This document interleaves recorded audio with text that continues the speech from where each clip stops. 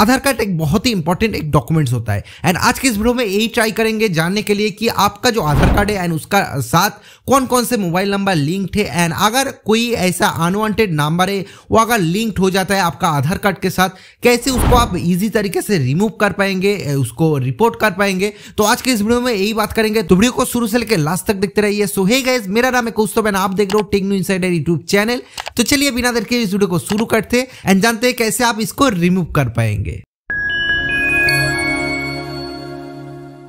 B. पे display में जो वेबसाइट आपको देखने को मिल रहा है, ये भारत सरकार द्वारा मेंटेन किया जाता है मैनेज किया जाता है तो आपको इस वेबसाइट में विज़िट करना होगा एंड इसके बाद यहाँ पे मोबाइल नंबर डाल के ओटीपी को रिक्वेस्ट करना होगा। उसके बाद ओटीपी रिसीव होने के बाद यहाँ पे ओटीपी डालिए, उसके बाद वैलिडेट कीजिए, उसके बाद यहाँ पे आपका जितना सारे नंबर इस आधार कार्ड के साथ लिंक्ड होगा तो यहाँ पे आपको देखने को मिल जाएगा।